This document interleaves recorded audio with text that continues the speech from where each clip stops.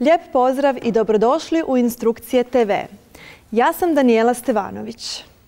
U ovoj lekciji, a i novoj nastavnoj cijelini, osnovni trigonometrijski identiteti, povezat ćemo malo trigonometrijske funkcije koje smo već upoznali. Označimo za početak na brojevnoj kružnici jednu točku T. Znamo da ona ima koordinate kosinus alfa i sinus alfa pri čemu je alfa naravno ovaj ovdje kut. Ovo je sinus alfa, kosinus alfa. Vukli smo okomicu pa je ovdje pravi kut. Brojevna kružnica je jedinična, njen polumjer je 1. Duljina ove ovdje dužine je 1. Dobili smo ovdje jedan pravokutan trokut. A znamo što vrijedi za, za pravokutan trokut, to je Pitagorin poučak. Zbroj kvadrata kateta jednak je kvadratu nad hipotenuzom. Ako promatramo ove dvije duljine kao duljine stranica pravokutnog trokuta, općenito ćemo morati voditi računa da su duljine tih kateta unutar apsolutne vrijednosti. Jer sinus može biti i pozitivna, može biti i negativna vrijednost, isto kao i kosinus. Dakle, sinus alfa i kosinus alfa su duljine kateta, a duljina hipotenuze je 1, pa vrijedi sinus na kvadrat alfa plus kosinus na kvadrat alfa jednako 1 prema Pitagorinom poučku. Dalje. Povucimo pravac na kojem očitavamo tangens i produljimo ovaj završni krak. Pogledajmo ovaj ovdje trokut. To je pravokutan trokut, sličan prethodnom trokutu kojeg smo proučavali. Neka je ovo duljina stranice katete našeg pravokutnog trokuta i ona iznosi tangens od x. Obzirom na to da sam odabrala kut u prvom kvadrantu, znamo da su sve vrijednosti sinus, tangens, kotangens uvijek pozitivne. Možemo usporediti duljine stranica ovih trokuta, obzirom na to da su slični. Pa da vidimo ovako. Tangens od alfa naprama sinus od alfa jednako je. To ćemo usporediti sa ovime. Znači ova stranica, druga kateta, naspram druga kateta manjeg trokuta.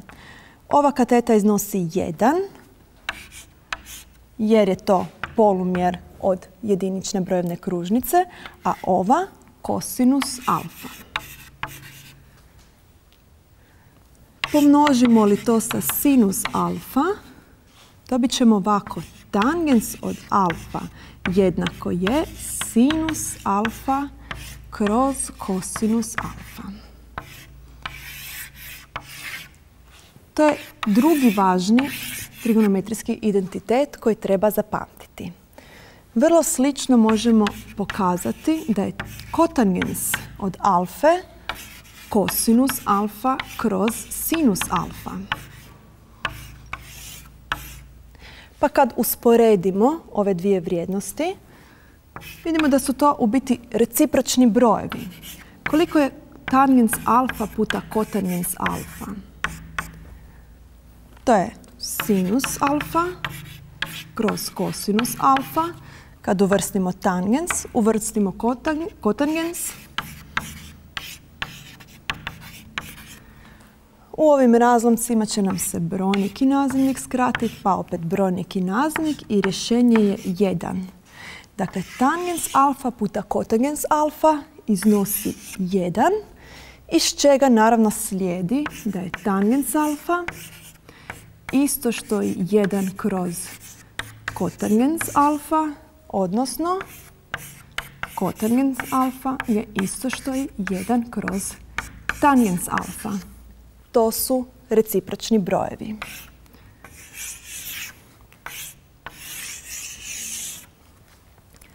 Ove identitete važno je zapamtiti. Jedna od bitnih svojstava funkcija koje možemo promatrati je svojstvo parnosti ili neparnosti. Za funkciju kažemo da je parna ako vrijedi f od minus x je isto što i f od x. Što znači da vrijednost funkcije ne ovisi o predznaku. Vrijednost funkcije od broja x ili od njemu suprotnog broja je jednaka. Takva funkcija je parna.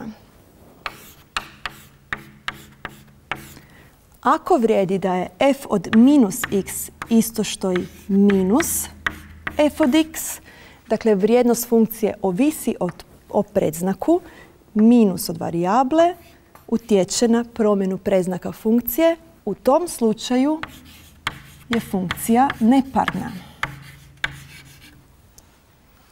Funkcija također može biti niti parna, niti neparna.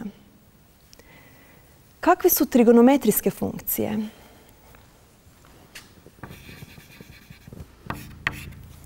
Neka je ovdje neka točka T. Pogledajmo sinus od kuta x. To bi bila ova vrijednost. Sinus od x. Koliki je sinus od minus x? Ako je ovdje x, na suprotnu stranu odmjerimo minus x. Kolika je vrijednost funkcije sinus?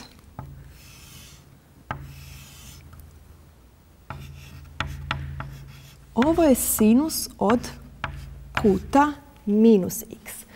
Vidimo da je prva vrijednost pozitivna, a ova druga negativna, što znači da funkcija sinus ovisi o preznaku kuta. Sinus od minus x je minus sinus od x.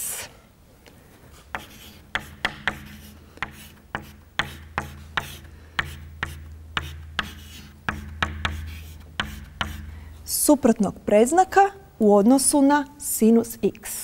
Dakle, funkcija sinus je neparna. Što je sa funkcijom tangens? Produljimo završni krak. Ovo ovdje je tangens od x. Produljimo i ovaj. Ovo je tangens od minus x. Opet se razlikuju po predznaku tangens od x je pozitivno, a tangens od, minus x je negativno. Dakle, tangens od minus x je minus tangens od x.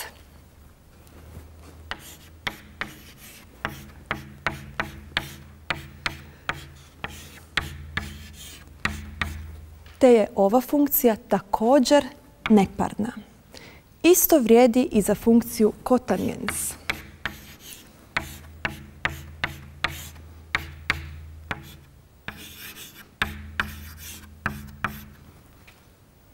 Pogledajmo još funkciju kosinus.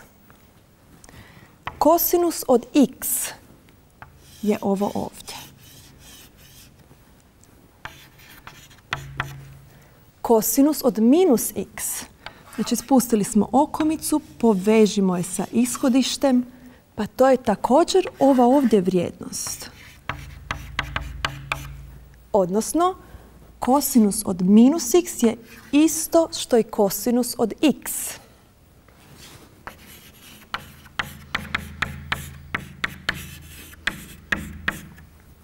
Kosinus od minus x aha, je isto što i kosinus od x. To znači da je ova funkcija parna.